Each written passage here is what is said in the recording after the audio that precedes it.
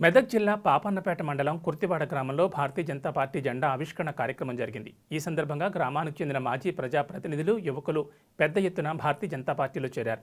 BJP Medak జిల్లా అధ్యక్షుడు గడ్డం శ్రీనివాస్ కండువా కప్పి పార్టీలోకి ఆహ్వానించారు. ఈ కార్యక్రమంలో నందు బీజేపీ రాష్ట్ర కార్యదర్శి జనార్దన్ రెడ్డి బీజేపీ జిల్లా ప్రధాన కార్యదర్శి నల్లాల విజయ్ సత్యనారాయణ బీజేపీ మెదక్ జిల్లా ఓబీసీ ప్రధాన కార్యదర్శి వడ్ల సంతోష్ చారి బీకొండ రాములు కుర్తివాడ గ్రామ అధ్యక్షులు చాకలి సంతోష్ మండల ప్రధాన కార్యదర్శి వడ్ల భిక్షపతి మండల ఉపాధ్యక్షులు బి నాగేశ్వర్ తదితరులు పాల్గొన్నారు.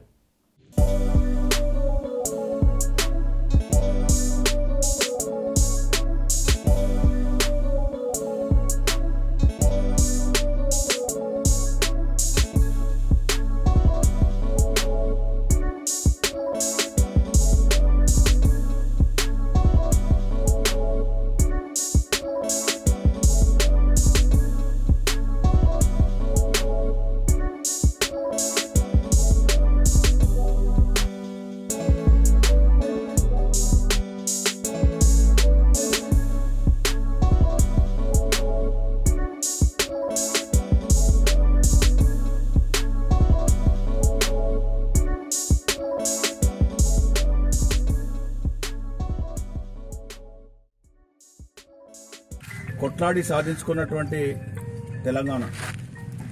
తెలంగాణ వస్తే డబుల్ బెడ్రూమ్లు వస్తాయని తెలంగాణ వస్తే ఉద్యోగం వస్తుందని తెలంగాణ వస్తే నీళ్ళు వస్తాయని చెప్పేసి అధికారంలోకి వచ్చినటువంటి ఈ టీఆర్ఎస్ ప్రభుత్వం ఈ కేసీఆర్ ప్రభుత్వం. మరి ఇవాళ ఎవరికి వచ్చినాయి నిధులు నిధులు నియామకాలంటే ఓన్లీ కల్వకుట్ల కుటుంబానికి కేసీఆర్ కుటుంబానికి కొడుకు అల్లుడు కూతురు చెడ్డకుని కొడుకు. వీళ్ళకు మాత్రమే నియామకాలు వచ్చినాయి. వాళ్ళ ఫామ్ హౌస్కి మాత్రమే నీళ్ళు వచ్చినాయి. మరి నిధులు కూడా వాళ్ళ వంశానికి మాత్రమే వచ్చినాయి. మరి ఇదేనా మనం తెలంగాణ కొట్లాడి సాధించుకున్నటువంటి తెలంగాణలో? మరి ఇక్కడ ఉన్నటువంటి ఈ కుర్తివాడ గ్రామం కానీ ఈ పాపన్నపేటలో కానీ ఎవరికైనా డబుల్ బెడ్రూమ్ వచ్చిందా అని చెప్పేసి మేము భారతీయ జనతా పార్టీ నుంచి సూటిగా అడుగుతా ఉన్నాం డిమాండ్ చేస్తూ ఉన్నాం. ఏడు సంవత్సరాల పాలన పూర్తయింది.